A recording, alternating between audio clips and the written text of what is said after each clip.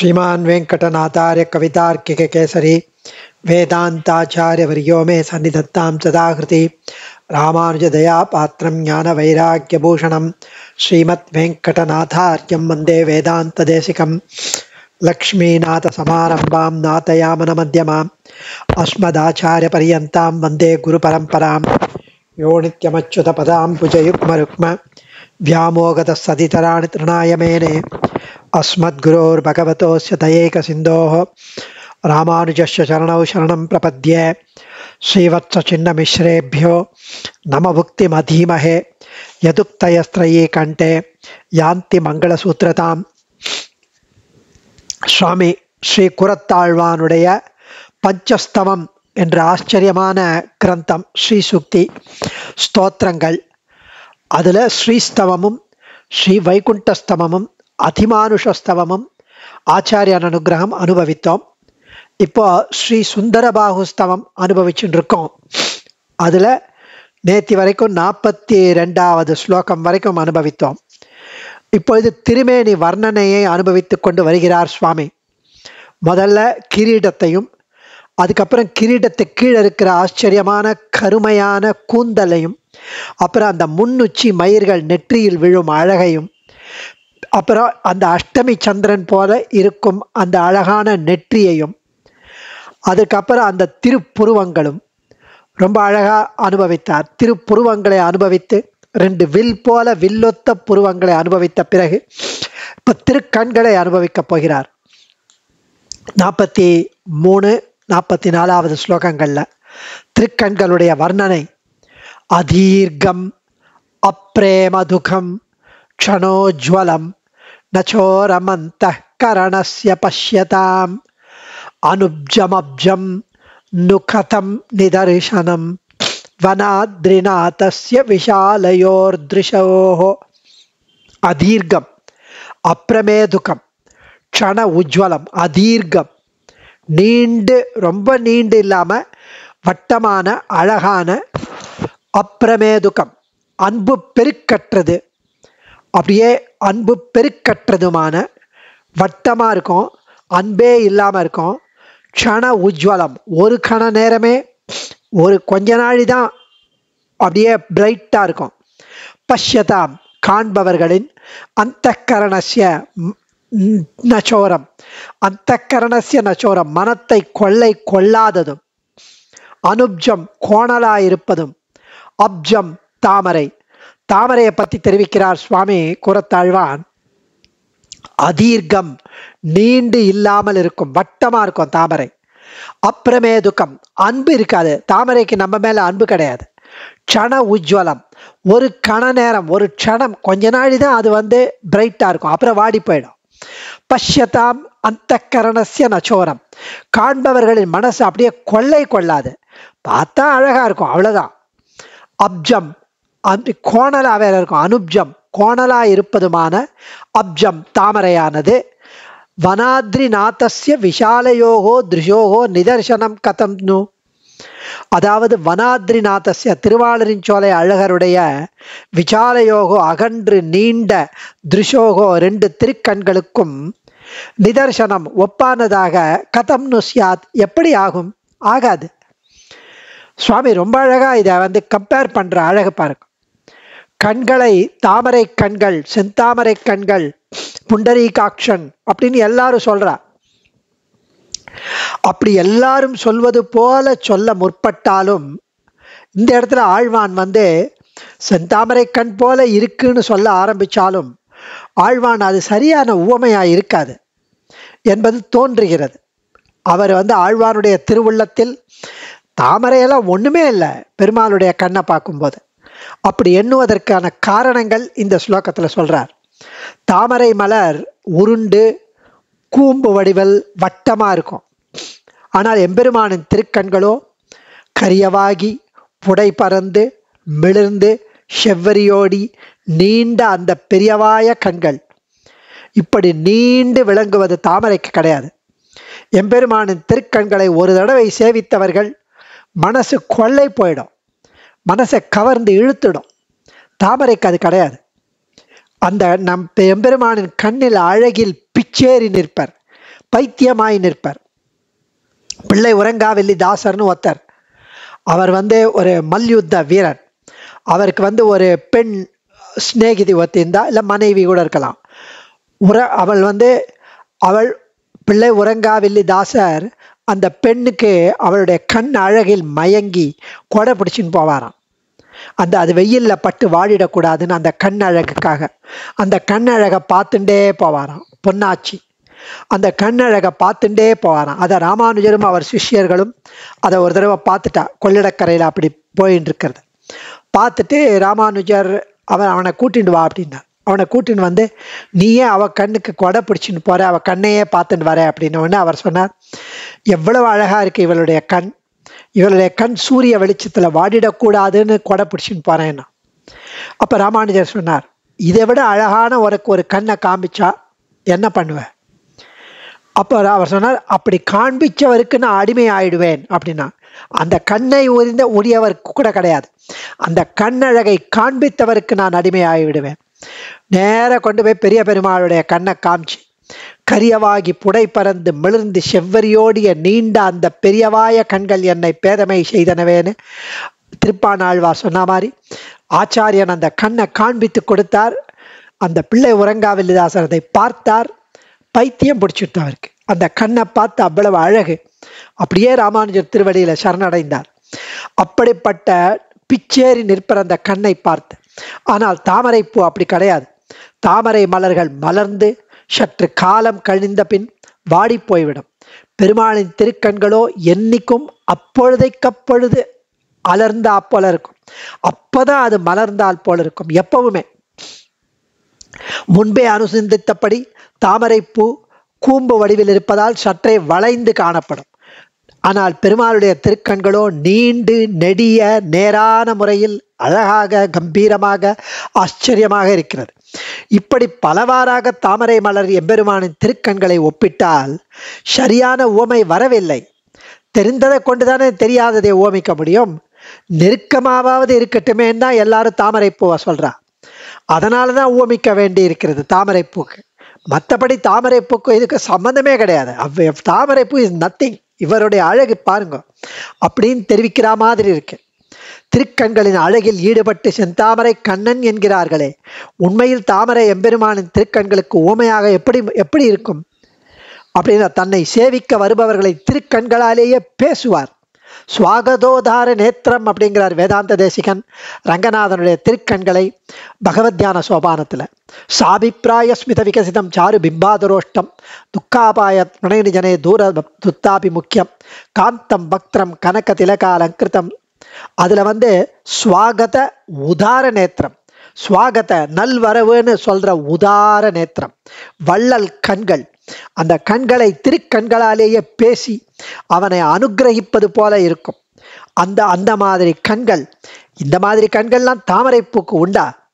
தாமரைப்பூ ரவுண்டா வட்டமா இருக்கும். இது நீண்டு கரியவாகி புடை பறந்து மிளர்ந்து செவ்வரியோடிய நீண்ட அழகான கண்கள். அதுவும் இந்த இந்த கண்கள் கொஞ்ச நாளில் இந்த தாமரைப்பூ கொஞ்ச நாளில் வாடிடும். இவருடைய கண்கள் என்றைக்குமே வாடாது. இந்த தாமரைப்பூ அன்பை செலுத்தாது நம்ம மேலே வாத்சல்யத்தை செலுத்தாது. ஆனால் இந்த திருக்கண்கள் அப்படியே கருணையை கொட்டும். இப்படி ரொம்ப அழகாக தாமரைப்பூக்கு இதுக்கும் சாம் கம்பேரிசனே கிடையாதுங்கிறார் கூறத்தாழ்வான். ஏதோ தாமரை பூ செந்தாமரை கண்கள்னு சொல்கிறாளே தவிர வேற எதுவும் உமையாக அவருடைய கண்ணுக்கு இல்லை என்பதால் சொல்லுவாரே தவிர தாமரை பூ எல்லாம் ஒப்புமே ஆகாதுங்கிறார் குரத்தாழ்வார் இந்த கண்ணுக்கு. அதுவும் இருபத்தி ஆறாவது ஸ்லோகத்தில் தேகலீச ஸ்துதியில் வேதாந்த தேசிகன் சொல்லார் துர்பார தீவிரதுரித பிரதிவாவது கைஹி ஔதார்யவத் பிரனகஸ்மித தர்ஷனீயைஹி தேகல்யதீஸ்வரதயா பரிதைரபாங்கைஹி வாச்சம் வினா பிவதசீவ மயி பிரசாதம். திருக்கோவலூர் பெருமானே உன்னுடைய கட்டாட்சங்களின் பெருமைக்கு அளவே இல்லை. அவை வேறொன்றாலும் ஒழிக்க முடியாத பாப்பங்களையெல்லாம் ஒழிக்கிறது. கட்டாட்சம். உன் கட்டாட்சம் ஒருத்தன் மேல விழுந்தால் அவன் பாப்பங்கள் எல்லாம் தொலைந்து விடும் அந்த கட்டாட்சங்கள் எந்த பலனையும் கொடுக்க வல்லும் உன் திருமுகத்தில் வஞ்சனையின்றி தவழும் புன் சிரிப்போடு அந்த திருக்கண் கலக்கும் போது காண்பதற்கு மிக போக்கியமாயிருக்கும் மிக அழகா இருக்கும் சாபிப்பிராய ஸ்மித விகசிதம் சாரு பிம்பாதுரோஷ்ணம். துக்காபாய பிரணயனதே ஜனே தூர தத்தாபி முக்கியம். எவ்வளோ அழகா சுவாமி அங்க தெரிவிக்கிறார். அதுவும் தூர தத்தாபி முக்கியம். அந்த சா அபிப்பிராய ஏதோ ஒரு அபிப்பிராயத்தோட அவன் பார்க்குற மாதிரி இருக்குமா? அதுவும் சாத சா அபிப்பிராய ஸ்மித விகசிதம். சிரிச்சுண்டு புன் சிரிப்போட சாரு பிம்பாதரோஷ்டம் அழகிய கோவைக்கனி போன்ற கீழ் மேல் உதடுகள். துக்காபாய துக்க அபாய பிரணயினிஜனே தூர தத்தாபிமுக்கம் துன்பம் நீங்குவதை விரும்புகின்ற மக்களிடத்தில் தூர தத்தாபிமிக்க தூரத்தில் இருக்கும் போதே அவர்களை கட்டாட்சிப்பாரா? நம்ம எங்கேயோ இருப்போம். நம்பெருமாள் நம்மளை கட்டாட்சிச்சு இப்போவாவது வந்தியா? இவ்வளோ நாள் ஆச்சா? அப்படின்னு கேட்பாராம். காந்தம் வக்திரம் அதாவது காந்தம் அழகியதாய். அந்த அந்த காந்தம் பக்திரம் கனக திலகால் அங்கிருதம் ரங்கபர்த்துகு. அந்த ரங்கபர்த்து திருவரங்கனுடைய திருமுகம் பக்திரம் காந்தம் அழகியதா இருக்கும். கனக திலக்கம் பொன்னாலாகிய திலக்கம் இருக்கும். சுவாகத உதார நேத்திரம். சுவாகத்தம் சொல்லுமா? நல்வரவு சொல்லும். நம்மளை வரவேற்கும். வா அப்படின்னு வாத்சல்யத்தோடு கூப்பிடும். அப்படி பெருந்தன்மையுடைய திருக்கண்களை உடையதாக உள்ள அந்த திருமுகம் என் உள்ளத்தில் எப்பவும் உறுதியாக இருக்கிறது. மம ஸ்வாந்தேகாடம் விலகதி என்கிறார் சுவாமி. அதே மாதிரி இங்கே கடைக்கண் நோக்குகளால் என்னிடம் அருள் புரிந்ததை வாய்மொழி இல்லாமல் கூறுகின்றாய் போலும். பேசாமல் அந்த கடைக்கண்ணாலேயே என்னை வந்து என்னை ரட்சிக்கிறேன் புன் சிரிப்பால் சொல்றியோ அப்படிங்கிறார் வேதாந்த தேசிகன் தேகலீத ஸ்துதியில் தேகலீஷ ஸ்துதியில். அதே மாதிரி இங்கே கண்களை அனுபவிப்பதற்கு ரொம்ப அழகான தாமரை பூவெல்லாம் நம்ம கம்பேர் பண்ணுறதுக்கே லாயக்கில்லை தாமரைப்பூ. தாமரை கண்கள்னு சும்மா ஒரு உவமைக்காக சொல்லலாமே தவிர என்கிறார் சுவாமி குரத்தாழ்வார் அடுத்த ஸ்லோகத்தில் பிரச்சோத்தத்ரேமசாராமிருத ரசூலக பிரக்ரம பிரக்ரியாபியாம் विक्षिप्तालोकितोर्मि प्रसरणमुषित स्वान्तकान्ता जनाभ्यां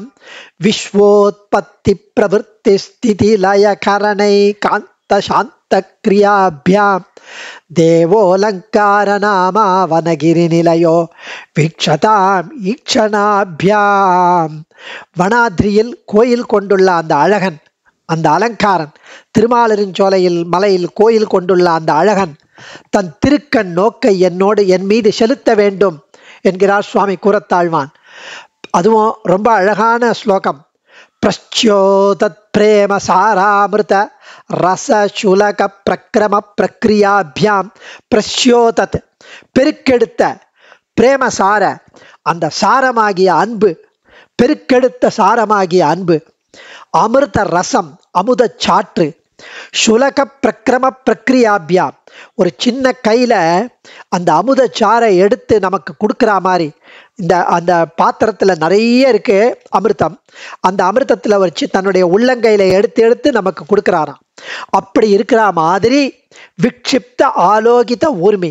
நன்கு செலுத்தப்பட்ட பார்வையாகிற அலைகளின் பிரசரண பெருக்காலே முஷித சுவாந்த கொள்ளை கொள்ளப்பட்ட மனசை உடைய காந்தா ஜனாபியாம் ஆயர் சிறுமிகளுடைய விஸ்வ சேதனா அச்சேதனமாத்மகமான யாவற்றுடையுடையும் ஆயர் சிறுமிகளை உடையனவும் உத் அந்த சேத்தன அச்சேதனங்கள் யாவற்றுடையவும் உற்பத்தி படைத்தல் பிரவிற்த்தி இயக்குவது ஸ்திதி நிலைநிறுத்துவது லயம் அழிவது ஆகியவற்றை கரண செய்வதில் ஏகாந்த சாந்த மிகவும் தடையற்ற கிரியாபியாம் முயற்சி உள்ளவனுமான ஈஷனாப் ஈக்ஷணாபியாம் கடைக்கண்களால் வனகிரி நிலையகா சோலைமலையை இருப்பிடமாக கொண்ட அலங்கார நாம அலங்காரர் என்ற பெயருள்ள தேவா எம்பெருமான் மாம் வீக்ஷதாம் அடியேனை கண்குளிர நோக்கி அருள வேண்டும்.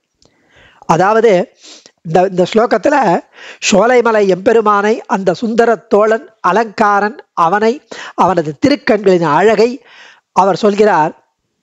அந்த அழகே போதும் போதும் என்கிற அளவுக்கு அருள்மழை கொட்டுமா அந்த அழகு? அந்த கண் அந்த கண் அழகு அப்படியே தயை வாத்சல்யம் கிருப்பை அந்த அந்த அந்த தயை அப்படியே கொட்டுமா? தயா வெள்ளத்தை கருணா சாகரத்தை. அவனோ எவ்வளவு கொடுத்த பின்பும் போராது போராதுன்னு அவன் எண்ணுவான் பேரருளாளன். இப்படி பொழிகின்ற அந்த அருள் எப்பொழுதும் அவனுடைய திருவுள்ளத்திலிருந்து அப்படியே பிறவகிச்சுட்டே இருக்குமா? வெள்ளமிட்டு கொண்டே வரும்.